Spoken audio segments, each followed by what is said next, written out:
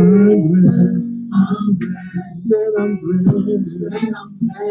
I'm blessed. I'm blessed. Said I'm blessed. Said I'm blessed. I'm blessed when I go out. I'm blessed when I come in. I'm blessed. All right. I'm blessed. Said I'm blessed. I'm blessed. Said I'm blessed. I'm blessed when I out. I'm blessed when I come in. I'm blessed. I'm blessed. I'm living the life of my testimony. I'm living the life of God. You are my You are. I'm. I'm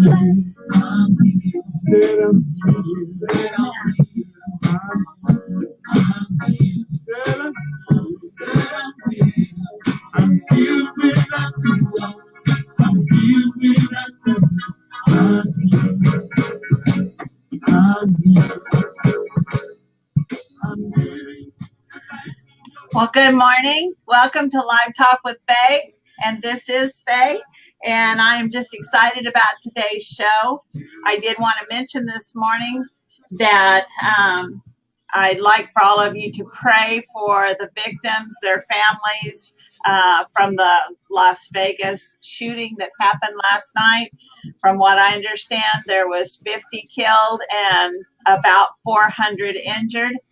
And this is not a good thing. It's not from God. Don't think that God's punishing people because they went to a concert because that's not it. This is not the hand of God.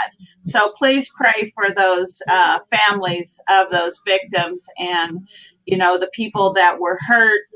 Pray for a quick recovery for them. Um, we are so excited this morning. You've been listening to a little music here, and it is just totally awesome. I'll get it off now so that you can um, hear our speaker when he talks. My guest today is um, a pastor. His name is Dr. Timothy Miller. He pastors Redemption Life Tabernacle Church in Haskell, Oklahoma. He's the head bishop of Redemption Life Worldwide Institute in Tulsa, Oklahoma. Dr. Tim Miller has traveled across the country preaching, teaching, and singing the kingdom of God since 1998.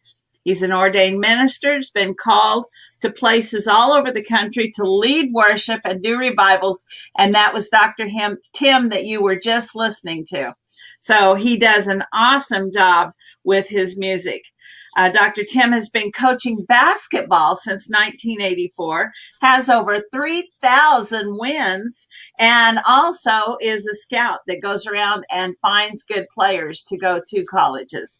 So I thought that was just totally awesome. You can find Dr. Tim on Facebook, or for more information, go to www.rlwi.org to check out what he does. Dr. Tim, welcome today and just greet your um, viewing audience. Hello, everyone. We're delighted to be here today, and thank you for that great introduction of what we have done over the years, and we're just glad to be here. Amen. Amen. Um, Dr. Tim and I are going to be talking about something just brand new. Um, it's not brand new to me. I've actually taken a class in this. So before we get to talking too much, I'm just going to tell you just a little about this. It's generational culture. Um, prior to 1946, the people that was born before 1946 are called the matures.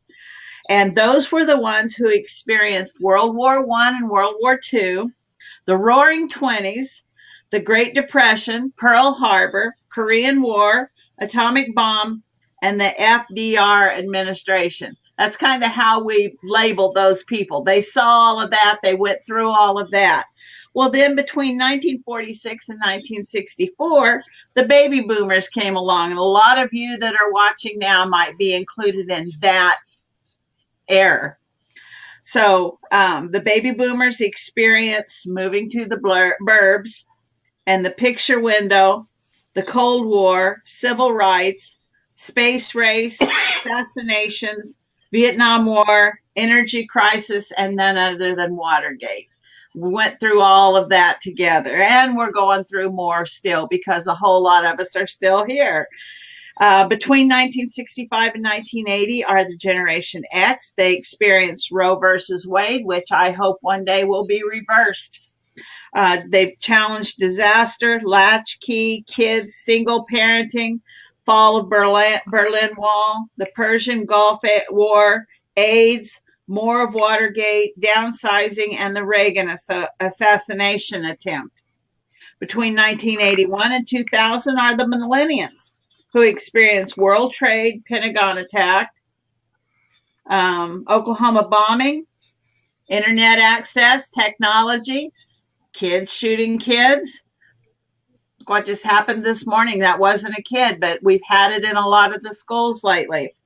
The death of, of Princess Diana and Mother Teresa, globalization, and George W. Bush. The only thing I'll say about the generation after the millennials is none of them knew the world without social media.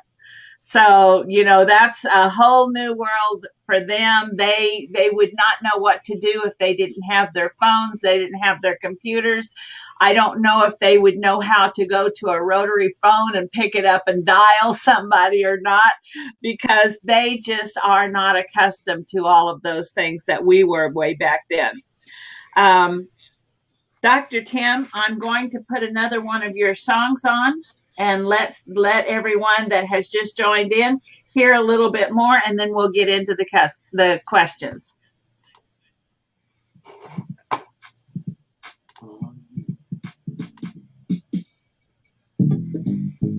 Put your hands together. Come on. Put your hands together. Come on. Put your hands together. Come on. Put your hands together. Put your hands together. Oh yeah.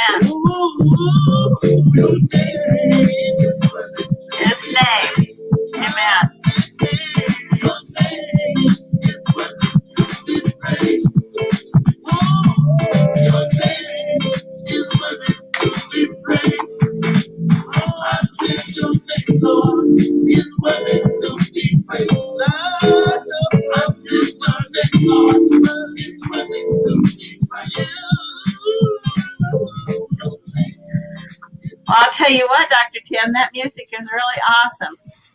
Um, that is Well, you you. and members of your church. Is that correct? Yes, and that's actually me and my wife singing on that one together. All right.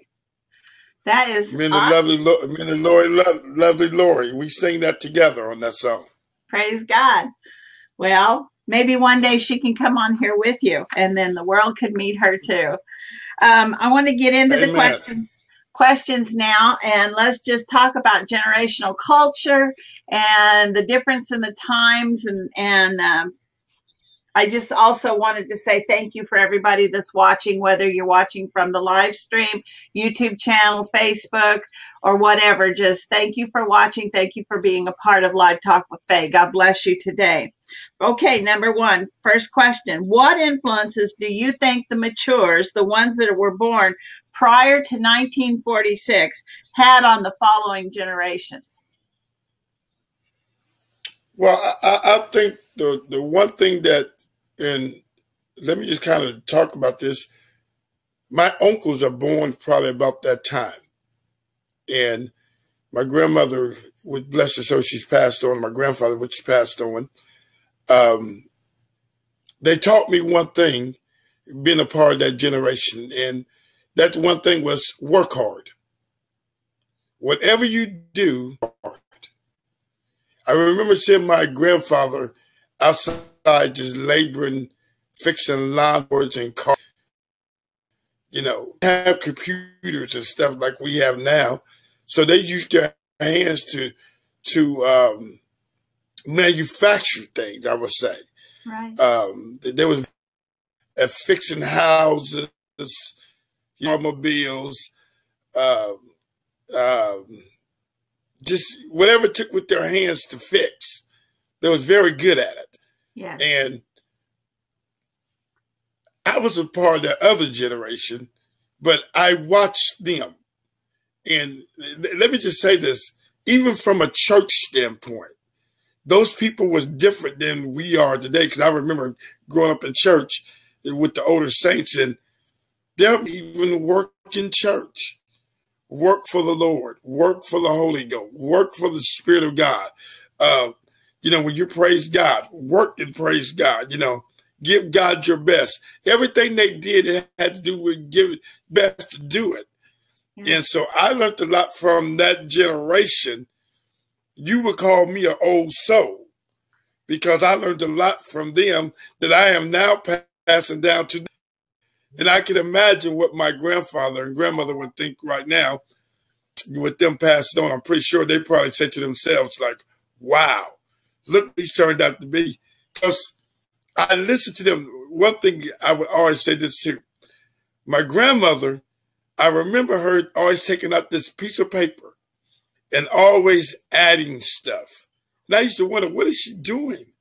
Why she was sitting there budgeting, making sure that everything was taken care of. I didn't understand what she was doing then, but now I understand. And I I say to to all the matures, God bless you. You you set a great foundation for this country Amen. and for the church at large. God Amen. bless you. I mean, they they set a serious foundation that the the generations that come behind them, they must understand that the foundation that was laid before them. Because if you don't understand what will happen before you, you can never build greatness unless you understand what happened before you. Right right. Um, Dr. Tim, I remember um, when I was a young girl, my parents was in church all the time. I mean, every time the doors were open, they were there. And I remember one time being in a 17 week revival and we didn't miss. I didn't miss any. So if mom couldn't go for some reason, me and dad still went. And I was there playing the organ, you know, just being involved as a young teenager. And to me, you know, of course, we are the church, but that building has something very special to me because that's where we get together. To me, it's kind of like a Weight Watchers Club. You go there to get built up so that you can go outside and then win the lost. So, you know, right, right. we have to have a place where people come and they learn, they get discipled, they get taught the word of God. Once they're Christians, they can't just go out on their own and know it all because they need the matures and people that have lived for God to teach them. So I I also appreciate everyone out there that is from that age group, and I say God bless you. Now, number two, what do you believe the current generation is? Do you believe the current current generation is lost? I wouldn't call the generation lost. I would say that this generation needs help. Um, it's, it's hard to explain this generation. It, I deal with this generation daily because I'm a basketball coach. And I deal with a young men and young women, even in our church. We have a, what I call a youth explosion happening right now in our church with kids that I would say that are from 22 down to, to 10. And um, a, a, few weeks ago, we had 21 young people come up on the altar. Now, they don't know why they came on the altar. That's this generation.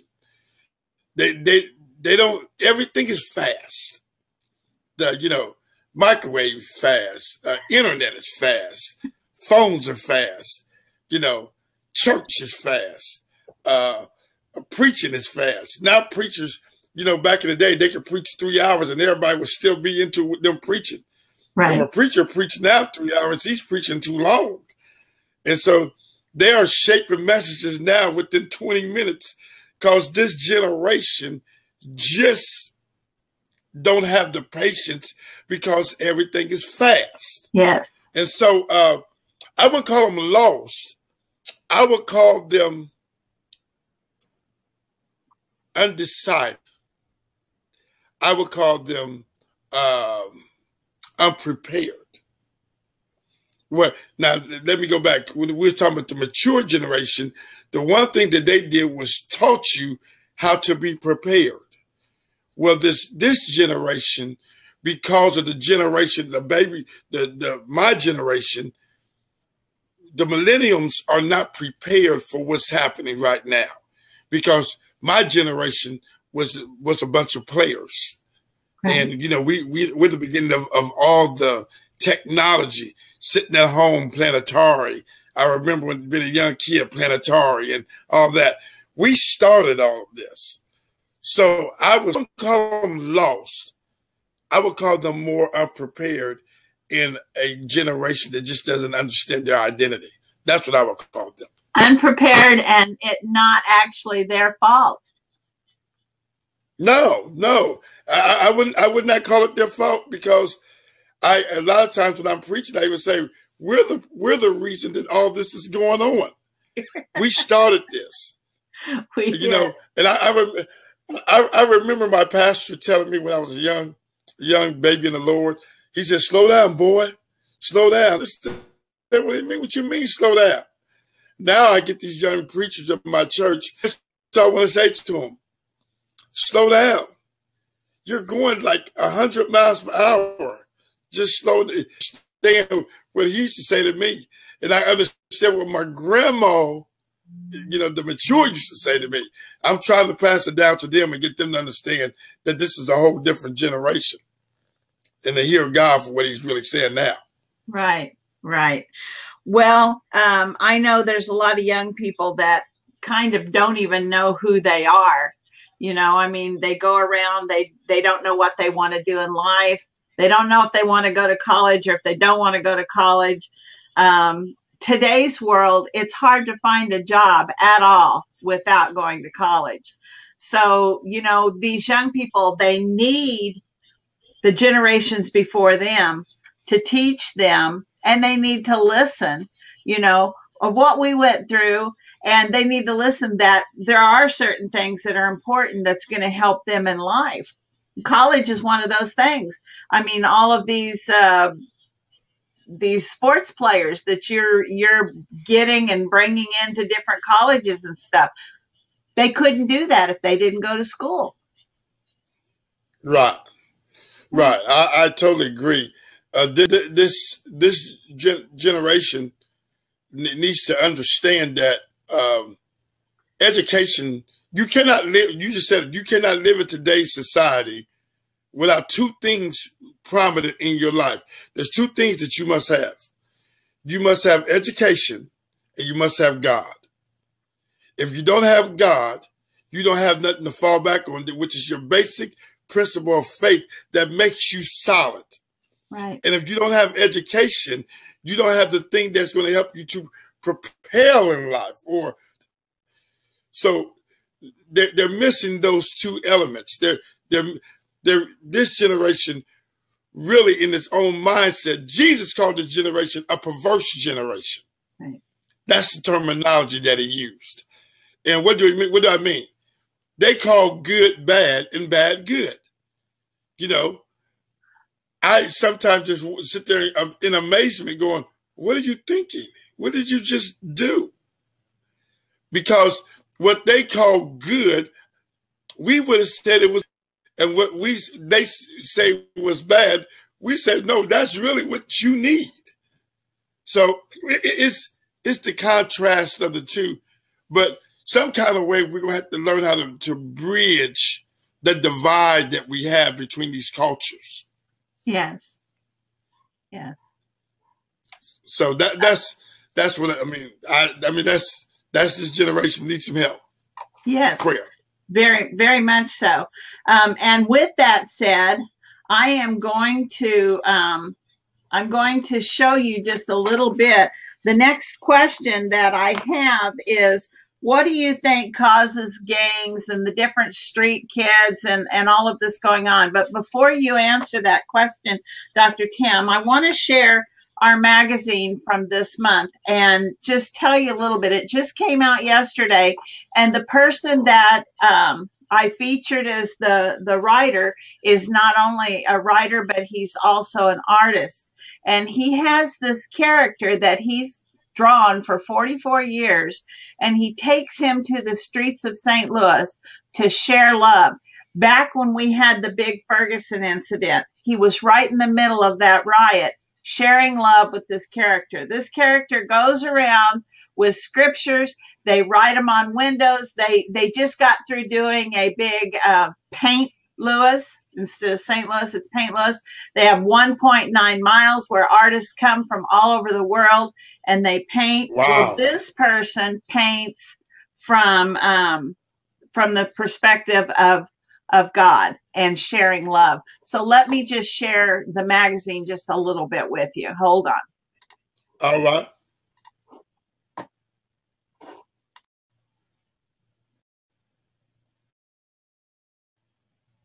name is Murford, and if you see him up here in the corner, he's ready to um, to shake your hand. And let's just go on here just a little bit.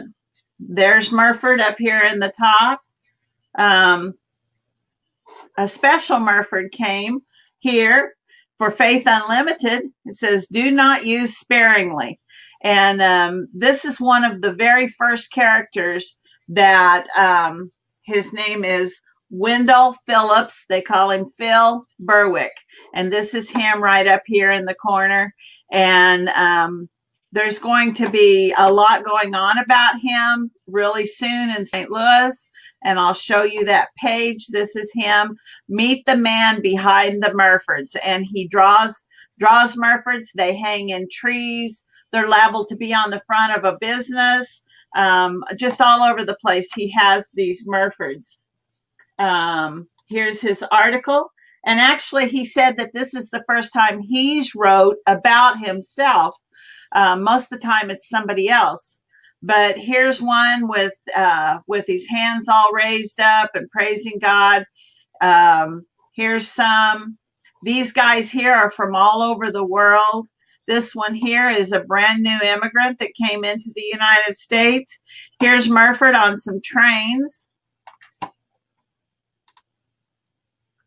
And this one here, um, the earthquakes in Mexico, he was helping these young men to um, get tools donated. There's a shovel in Murford's hand to get tools donated to take to Mexico to help them.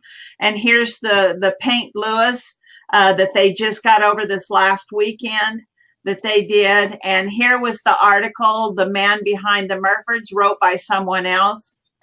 Uh, he actually um, received awards for this. You know, God uses pe- people in many different ways. Artist Phil Berwick brings smiles to St. Louis and whoever meets him with his art. And I can tell you that his Murfords are no longer just in the streets of St. Louis. They have ventured out to now where I know for a fact that they are outside of the United States. In fact, the way I met Phil was through someone in Pakistan.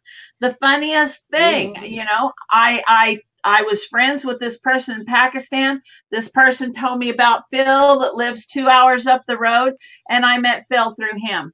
So it's just an awesome, awesome um, magazine. And uh, besides that, we have ads in the magazine. We have um, articles. This article here, His Love Conquers Fear, is by Dr. Bill, my husband. Uh, we have all kinds. Here's a Tree of Life orphanage that I'm featuring this month. Um, this gentleman had 21 children in his orphanages orphanage, and recently a mother passed away leaving five children without either parent. And he took those children in. And then after he got those five he got this little girl here who is three. So now he has 27 children in his orphanage. His orphanage is not registered. And uh, it's called now the tree of life orphanage and um, it's not registered yet and we are trying to get the funds raised to register that because um, if you're going to go out and try to get funds then you need to be a registered. And he says how do i do that when i have to buy food with the money that comes in? Well we're trying to help him now. So this here is revival on the doorstep with um, past uh, brother bill and melissa shepard from oklahoma and if you have not heard of them, go to this page and look at it. This is about Halloween. It's changing Halloween all the way around. The people that sell candy don't know what they've done for Halloween. This is now a way to share Jesus to the children and their parents that come to your doorstep. And it's an easy way. They've had great success. Just since one year ago, they are now in 20 states in the United States and in over five countries. So this is spreading great. It's taking over the old Halloween. So it's it's just an awesome thing. Um, try to get here to at least one more article to show you. Here, this is Pastor Bill Hackworth from Oklahoma. Jesus, the servant of servants. And you know, I have to read these articles because I edit them. So, um, you know, these articles in this magazine are awesome. They're wonderful. They'll bless you. And so just get this magazine and look at it. You can get it two ways. You can get it free online and look at it just like I was showing you. Or now you can go to Amazon.com and pull up Faith Unlimited with my name, Faye Hanshew, and you'll find the articles. Now, this one is not yet on Amazon. It's going to take me two or three days to get it to get it put on there because it just came out yesterday. But you can get um, we started in July, started our fourth year with Faith Unlimited. And so July, August, September, and soon October will all be on Amazon.com. And if you want your own personal copy, then you can go there and get that. So let me get off of screen share and I'll get back with Dr. Tim. Hold just one moment, please.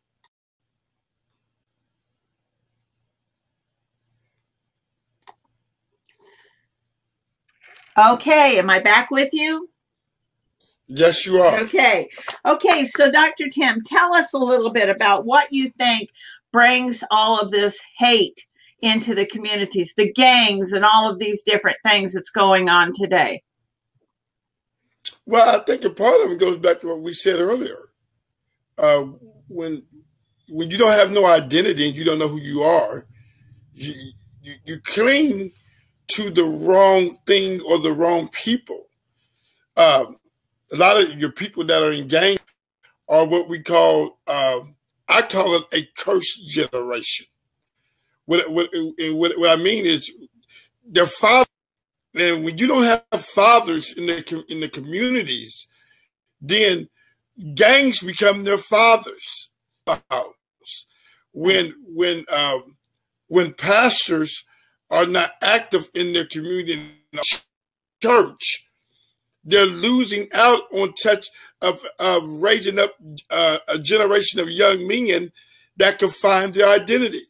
That's why I take the time. That's why the, that's why the Lord got me in education years ago, was because I seen in the spirit that our young men was lost. The only way that I knew at the time to really touch them was through sports. Sports was an avenue that they was a part of. Entertainment was a is another avenue. So we, we have to. And these things are happening is because they're either motherless, fatherless, or they don't have no identity. And some of these children are godless. They just don't have they don't have the, the mentality of God around them. Nobody's speaking words of faith or even positive words around them. So the only thing they hear is negative. So some you know, something's going to have to change. It is what it is. That's why we see things like Ferguson and places like that because we get in some cases we have what we call in, in I, I understand it in certain things when when you, when you're dealing with with um, relations between policemen and communities, or you know, uh, racism in some ways, you get what we call out of balance, and what we what we've gotten into this country, extreme rights and far extreme lefts. Yeah. Somewhere we're going to come back to the middle like they were, like we talk about the matured, we have to come back to the middle, like the mature word, and learn how to work together again. Democrat, Republican, black, white, whatever you know, whatever nationality, or whatever you're dealing with. Yes.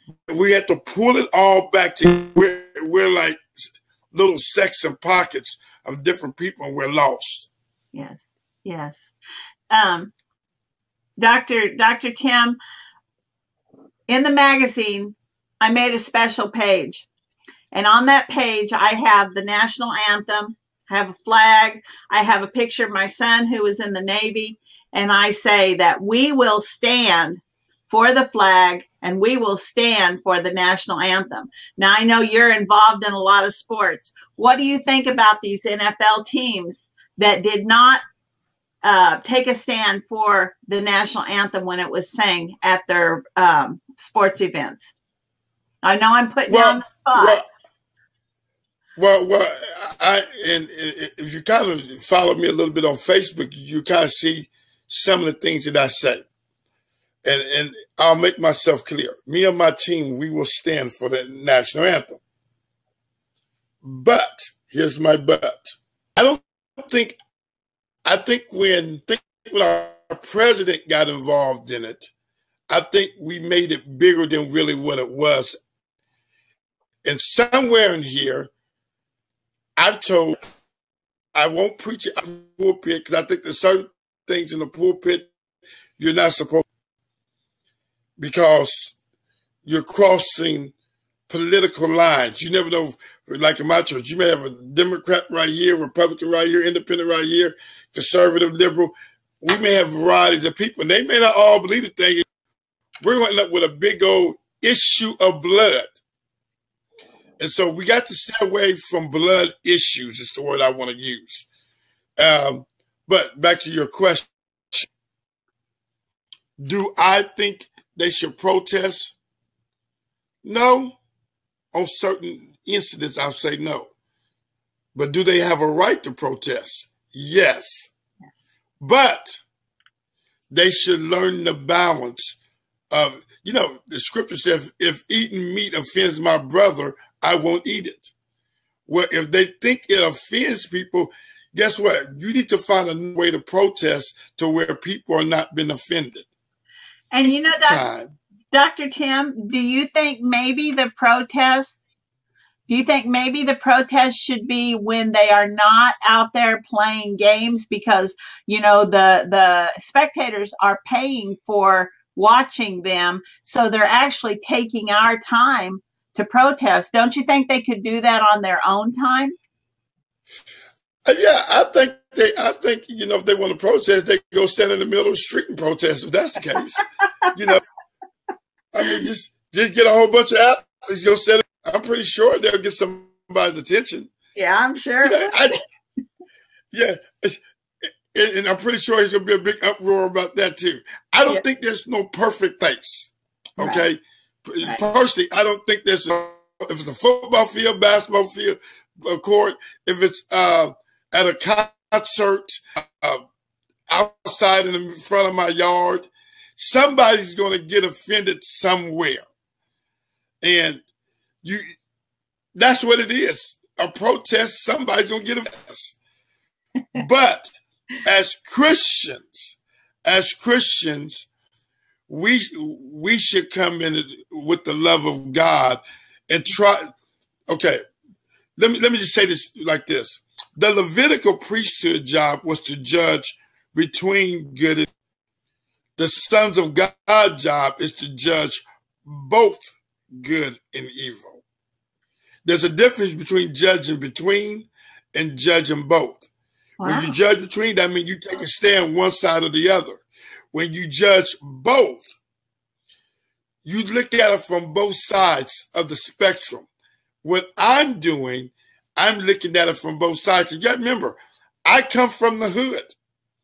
I'm from there. I do understand when they talk about when you're driving and you almost got pulled over by the police for nothing. I understand that.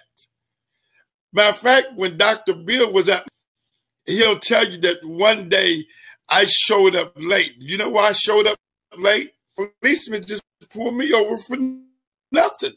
I wasn't speeding. I was I'm getting ready to go to church, and there was 10 cars that was ahead of me that was going faster than me. I was actually going to speed limit. And guess what? The police went down, turned around. I said, said to me, right now, you cannot act like you're from, act like you have some sense.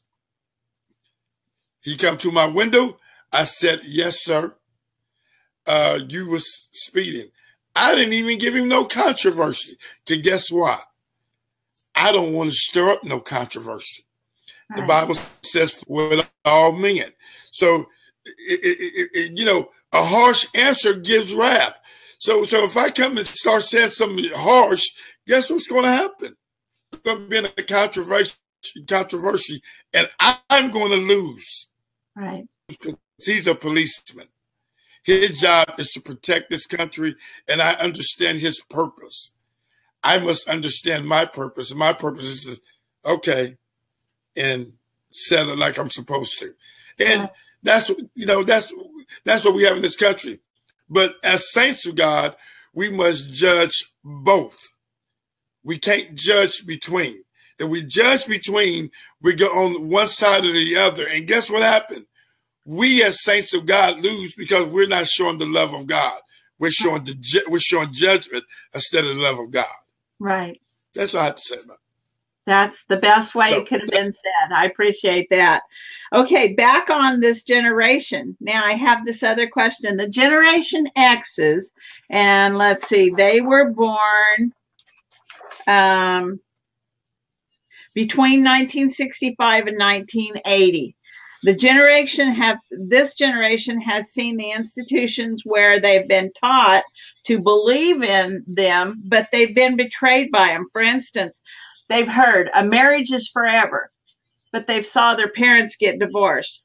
It was said if you work hard, you'll always have a job, but their parents got laid off. The government should be trusted, but then there's Watergate, Iran Contra, etc. What do you think these things have done that have happened to this newer generation that they've seen happen in their their parents' families? Well, I, I, I well, let me just say this. I think a lot of with this generation concerning politics comes from their parents putting negative thoughts in their heads. Like, let me just give an example. When I was young, it was told to me a Republican in office, guess what? If I would have took what they told me, I wouldn't trust not one Republican. but both. I look at things differently, makes me to think differently. So I don't just think, okay, like give example, because Barack president, I should automatically agree with everything. Oh no, I. When Barack Obama put uh, Winston, I said, "I'm out. I can't deal with that. It's a little too deep for me, Barack. I can't deal with that."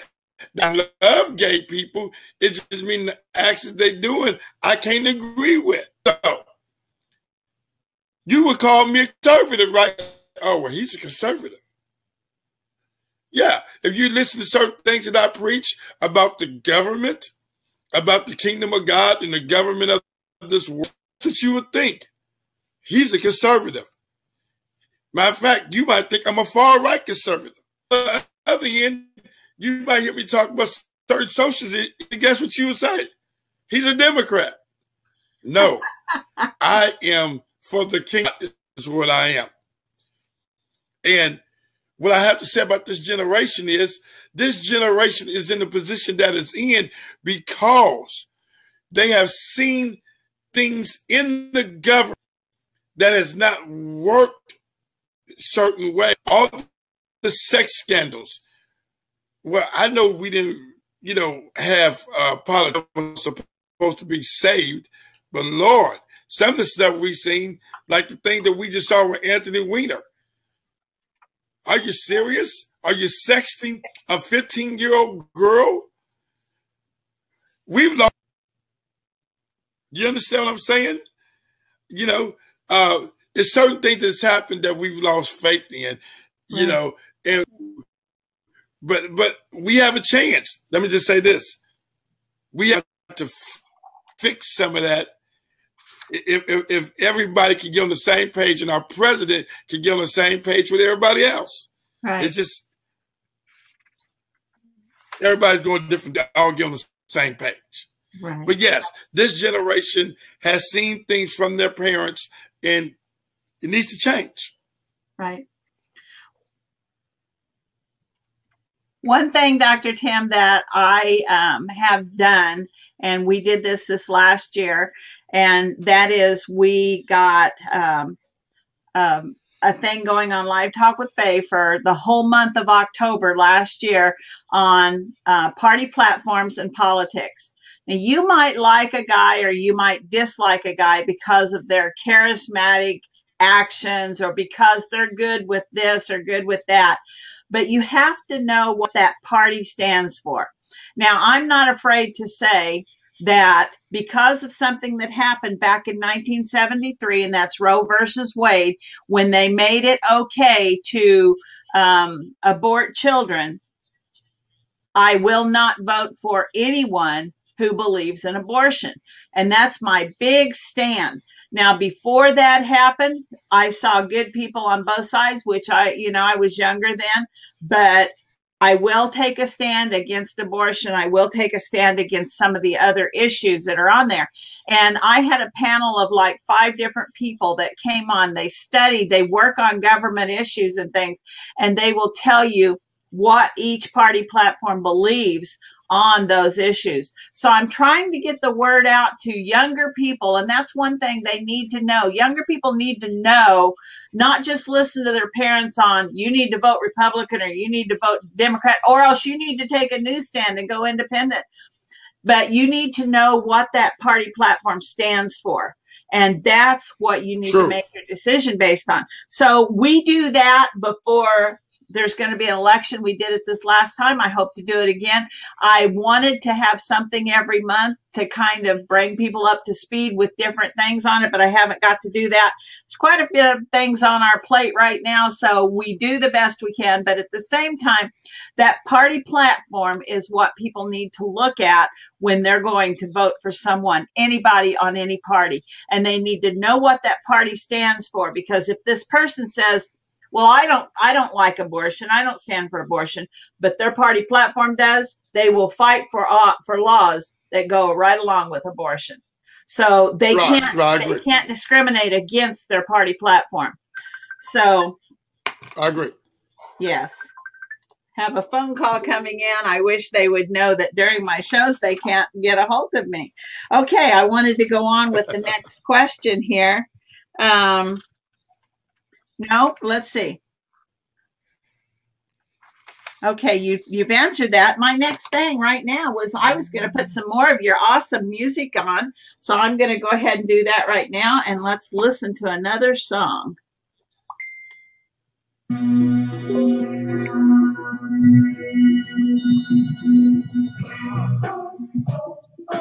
Uh, some people say that God's it's just music that he's talking about. Come on and sing. Uh, listen. I need love. You can't get a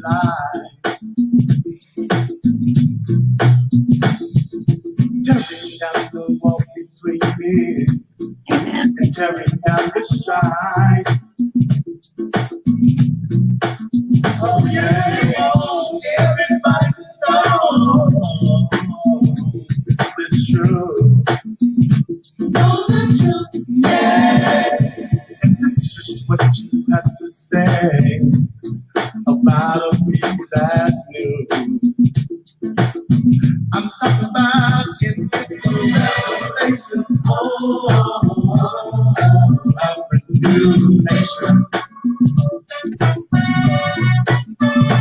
It's a revelation oh, a new nation.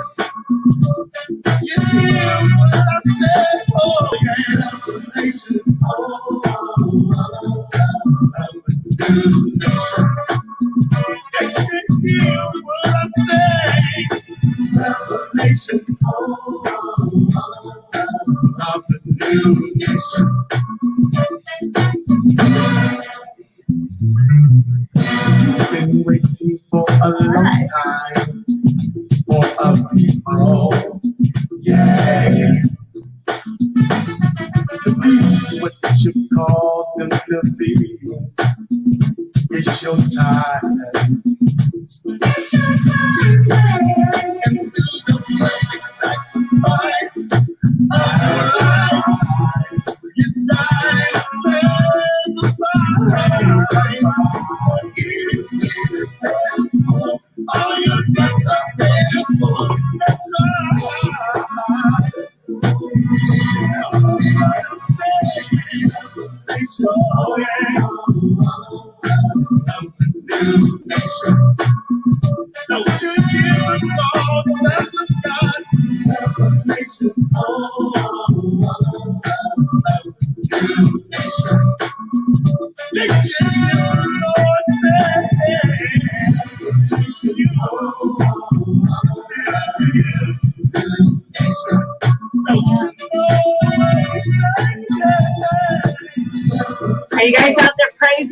This music? You should be praising with this music. It's awesome.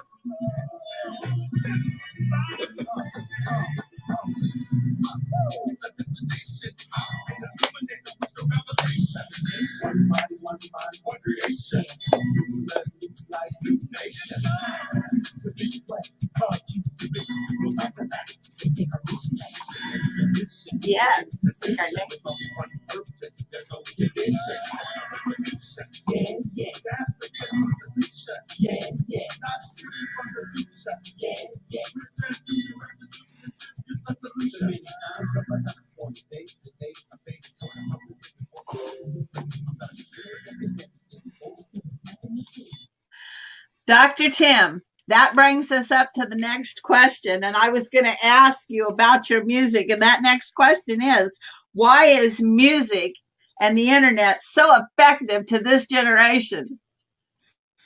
Well, the, all the way back to Eve, you know, then First John that talks about it. There's two things that dominate what you see and what you hear. And music dominated us because music at first, you know, what we heard.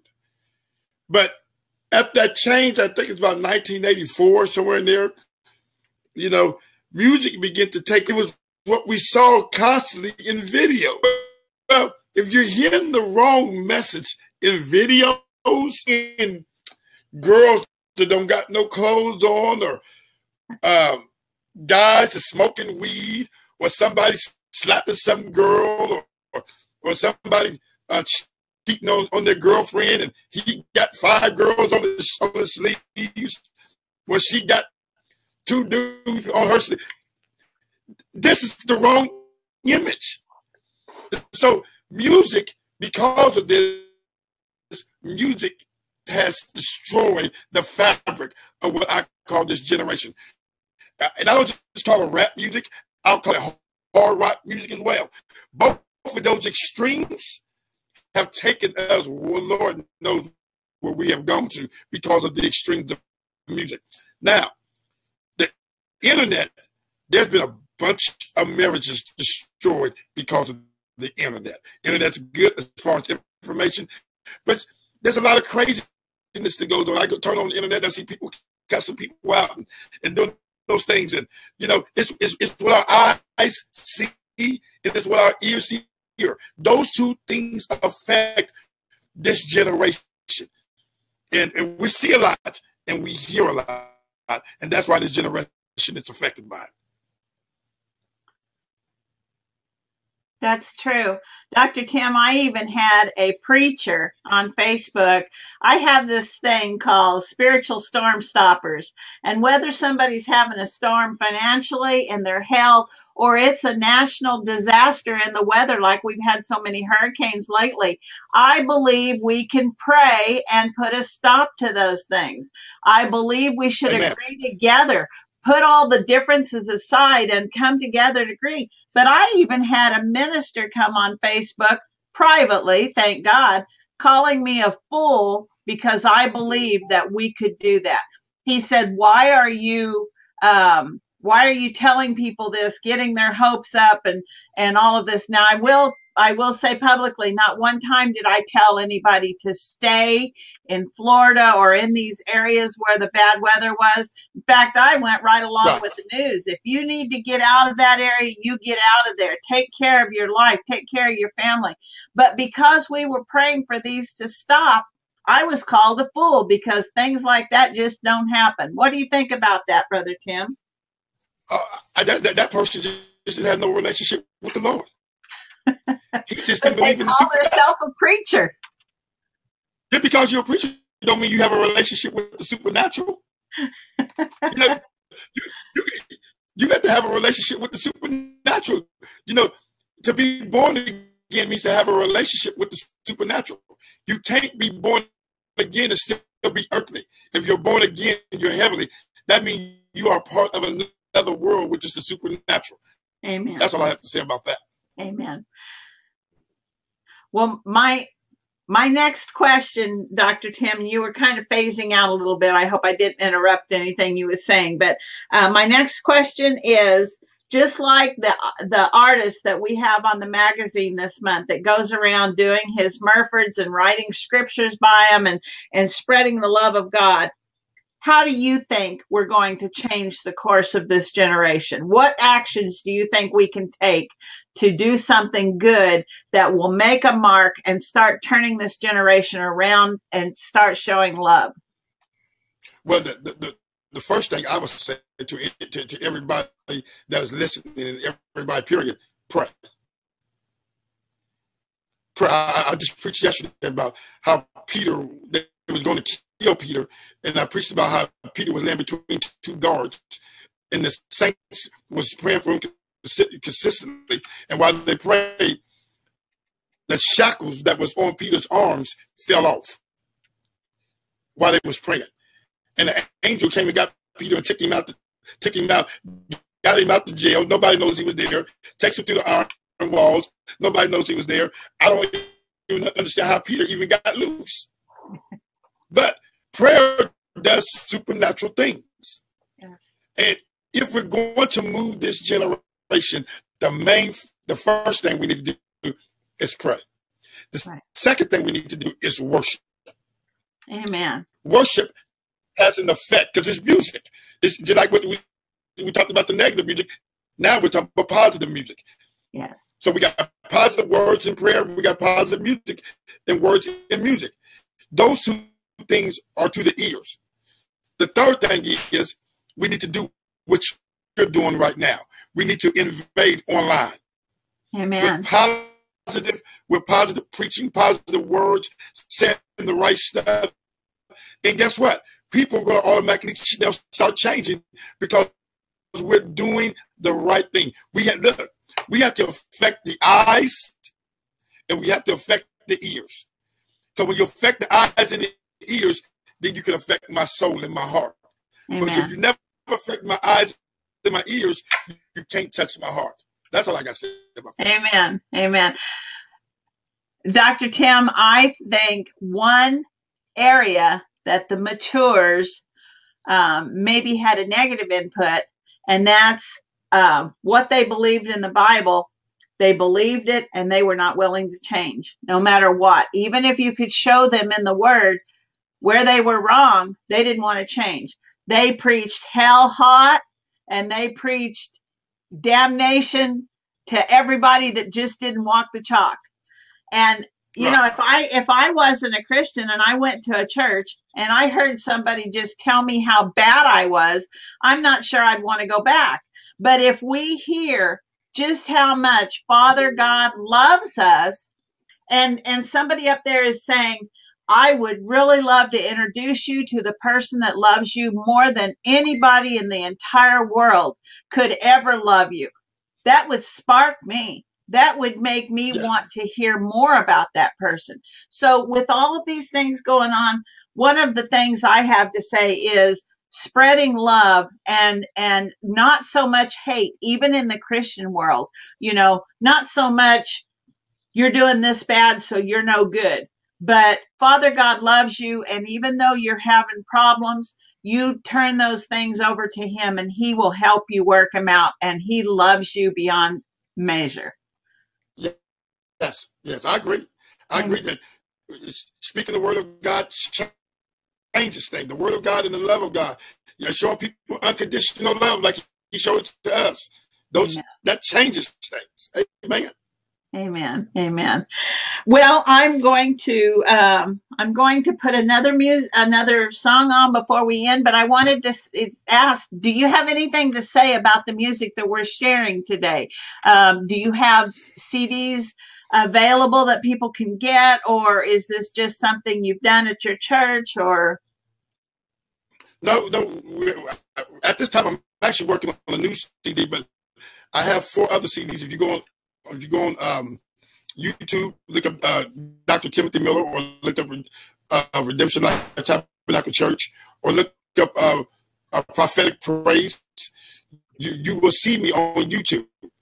Uh, you can also contact me at Redemption Life Tabernacle at gmail.com. Redemption Life Tabernacle at gmail.com.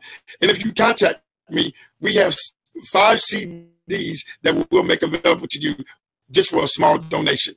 You don't have to send us a lot of money. You send us a donation, and we will, in return, send you five CDs with the God knows great um, music that's been done in the studios over the years. And you'll be blessed for. Uh, if you, if you, also get our CD that we put out last year, Judah from head to toe. Yeah, wow. it is out. It is out. It's the first song that you played today. I'm Judah from head to toe. That means I'm a praiser from head to toe. Amen. Judah. God bless you. I, I've enjoyed myself. Yes. Yes. Yes, amen. Well, in case you didn't get that because there was a little crackling going on, Redemption Tabernacle or Dr. Tim Miller on YouTube, or you can go to Redemption Life Tabernacle at gmail.com.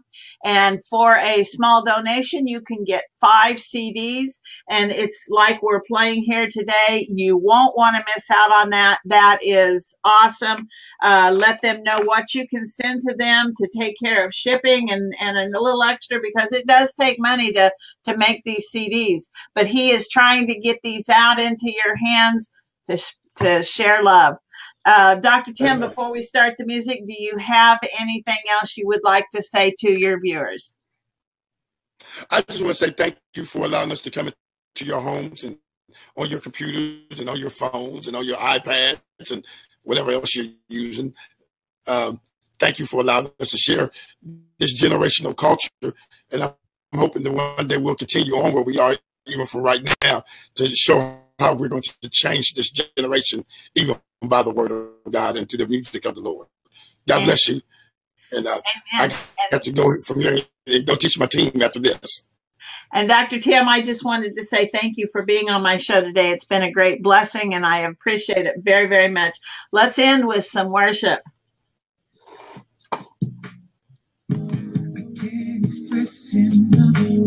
How you make me feel. And I don't have enough words to explain how I feel. Thank you, Father. think of you, it brings a smile to my face. Your love for me in all your ways. You're the sunshine that lights up my life. And all I really want to say to you is I love you. Amen. that's what Father God's saying. I love you. Yes, yes.